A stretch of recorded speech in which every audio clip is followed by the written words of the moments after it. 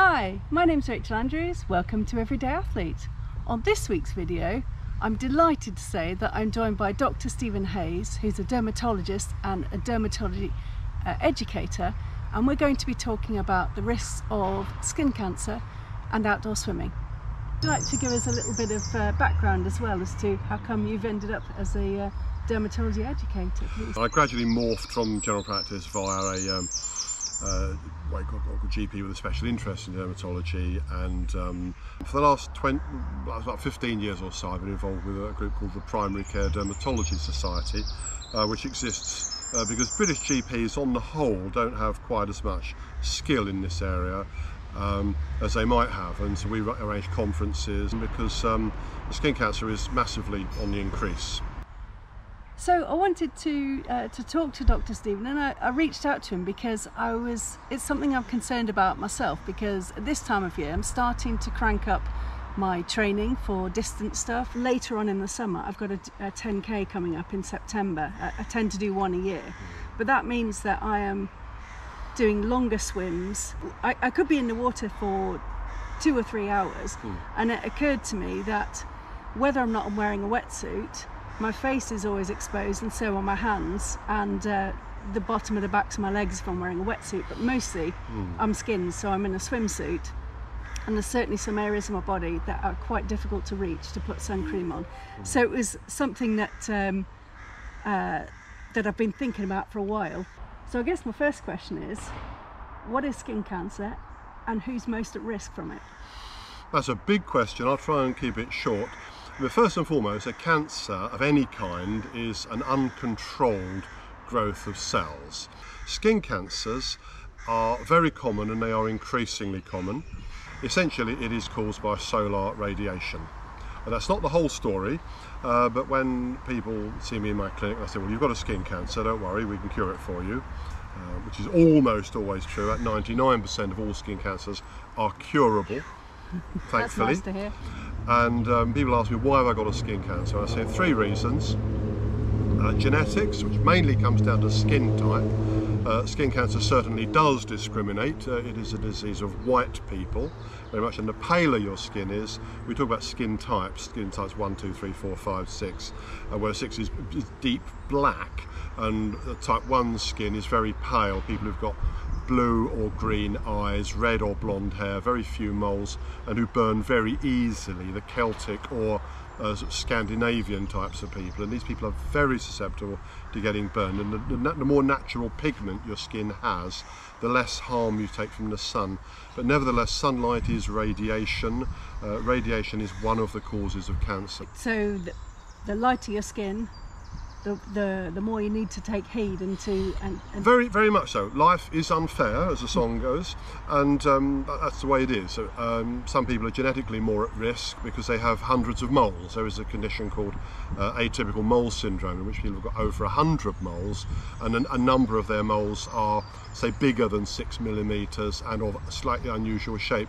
Uh, that is genetic and these people are genetic for genetic reasons. They are at greater risk of skin cancer um, although increasingly we don't think it's so much having atypical or abnormal looking moles it's having a very large number of moles say more than 100 I should clarify uh, when dermatologists talk about moles we mean melanocytic nevi well um, Stephen as an outdoor swimmer I'd say that myself and my swim buddies probably mm. see more of each parts of each other's body that aren't often exposed than even uh, their partners, the parts that you can't necessarily see, mm. the hmm. backs of the legs, yeah. uh, the back mm. and things.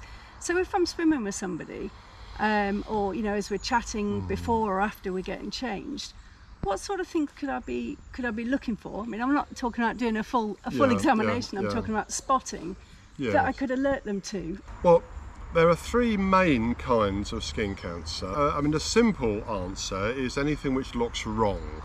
Uh, anything on the skin which is noticeably larger than other things on the skin, something which stands out.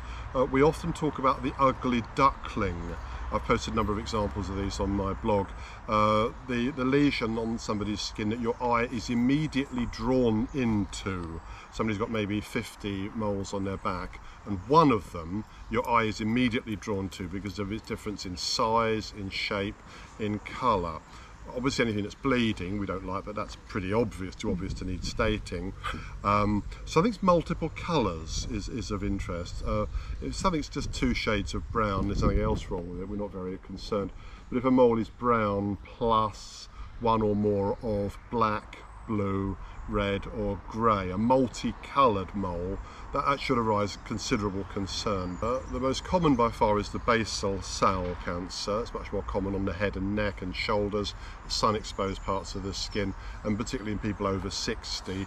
Uh, the, more, the older we get, the much more likely we are to get a skin cancer. Most of the people I see in my NHS clinic, I would say, are over 70. That doesn't mean that a younger person can't get a skin cancer. And they usually present as a, a scab that won't heal you think it's a picked spot or a pimple or an insect bite or something but you know two three four five weeks go by a month goes by two months go by and it still forms a little scab. People often say oh I thought it was a shaving cut.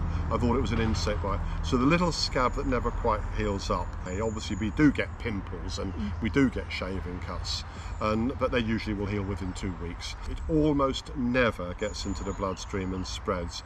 Uh, if it's caught early it can often be treated by cream or by a combination of light and cream uh, or it can be cut out by quite simple surgery. And I often say to people, look, you've got a basal cell cancer, but it's more of an inconvenience than a danger. This is not going to kill you.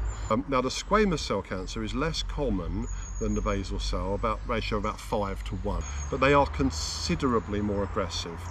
Then we don't need to worry about people diagnosing them as a rule because they grow quite fast.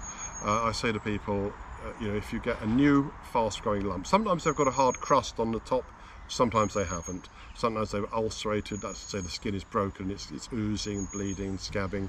Um, you usually get them on sun exposed uh, areas. One thing that particularly bothers me uh, is bald men. Uh, white men who go bald, you know, if you haven't got the sun, if you haven't got the hair protecting the top of your head, you need a hat.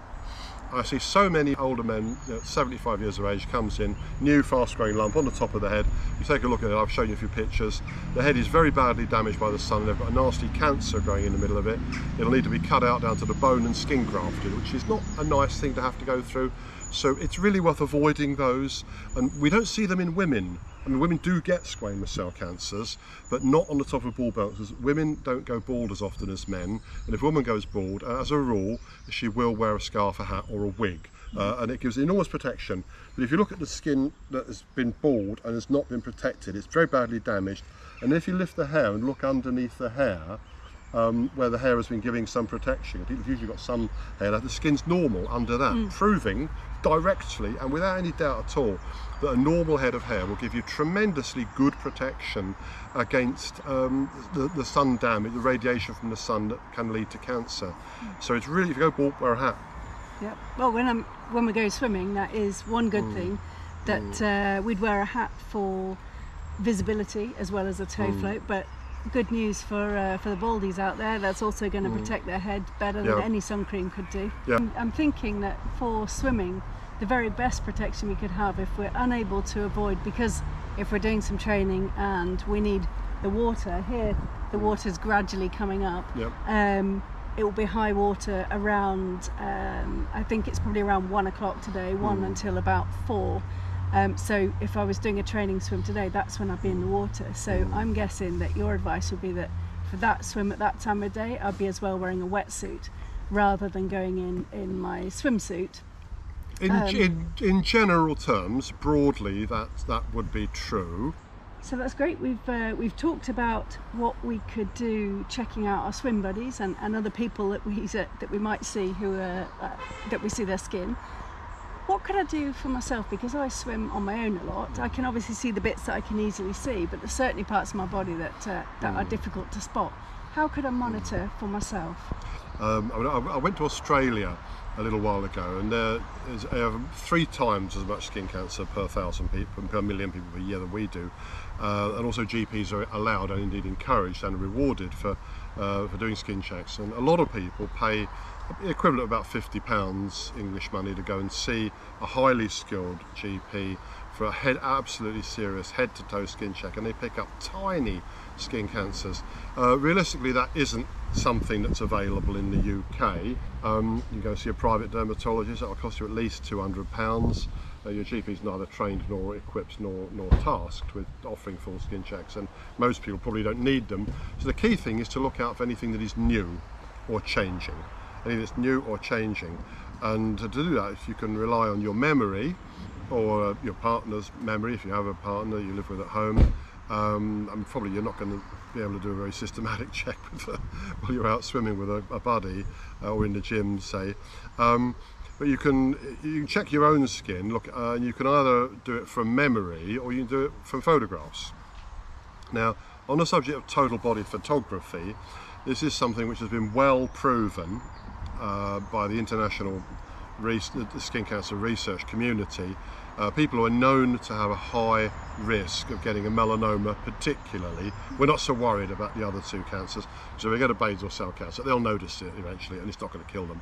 If they get a squamous cell cancer, it grows fast and makes its presence felt. So they will come for advice quickly as a rule. Melanomas can grow silently for years and if you wait until they are big and ugly and bleeding, they'll probably kill you. They're probably already spread and that's very bad news. But essentially we're, we're looking for something that's changed in appearance. One myth I like to deal with is that skin cancer has itch. A lot of leaflets say that. I think they're copied from one leaflet to the next. I see skin cancers every day at work. They don't itch. If somebody comes up with something that itches, it's probably not going to be a skin cancer. And if they've got a skin cancer, it almost never itch. So I forget about that. They're not painful. I've seen people who say, well, I would have come earlier. You know, I took one look at it, oh my goodness, I wish you'd come a year earlier with that and it's all, but it wasn't painful. I wasn't worried because it wasn't painful. That's an, a really important myth to dispel. Uh, if you wait until it hurts, then you know, you'll never detect it.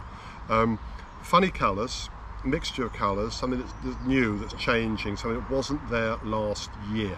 And the effect of sun exposure is cumulative. It's a bit like saving in a pension scheme. Uh, I think that's quite a good analogy because when you're 20, you can't imagine being 80, yeah. but when you're 80, uh, you might think, oh dear, I wish that when I'd 20, I was 20 I'd started saving money for my old age. Now I'd be much more comfortable. And again, if uh, when you're 20 you don't think about getting skin cancer as a 75 year old, uh, but if you don't protect, if you go baldy, don't protect yourself, then I guarantee you'll be meeting Mr. Knife and Mr. Skin Graft, you know, probably anyhow.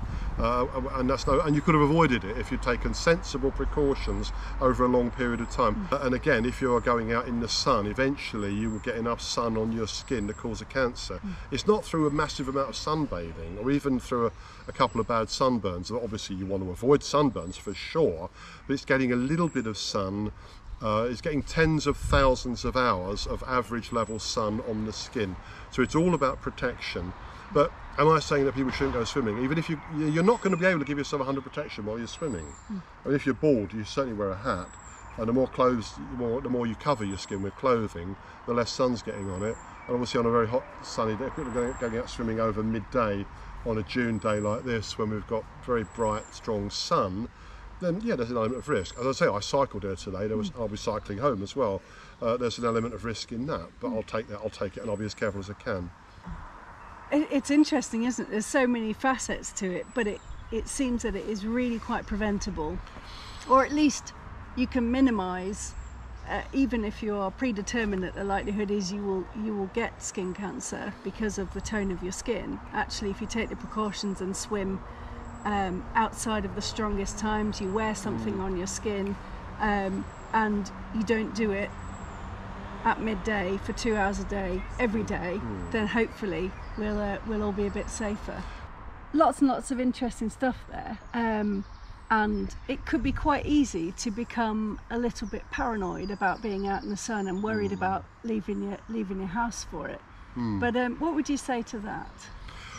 Well, life is a wonderful pageant, and there are so many things to be grateful for and to enjoy. And there are many dangers as well. I mean, when you're bringing up a child, you have to warn them don't run across the road, you might be run over and killed. Don't get into a stranger's car, don't uh, fall into water because you might drown, and don't get be careful in the sun, you don't want to get burned. Uh, regrettably, life is full of dangers as well as joys and pleasures. Uh, we need to have a sense of proportion. Thank you ever so much for coming along and meeting me. It's been fascinating to chat to you about this and uh, I'm hoping that people have, um, have, picked up some good tips and uh, we won't get won't be getting sunburnt we won't be swimming at funny times of the day. I hope you've enjoyed this week's video and if you have you'll give it a like drop us a comment.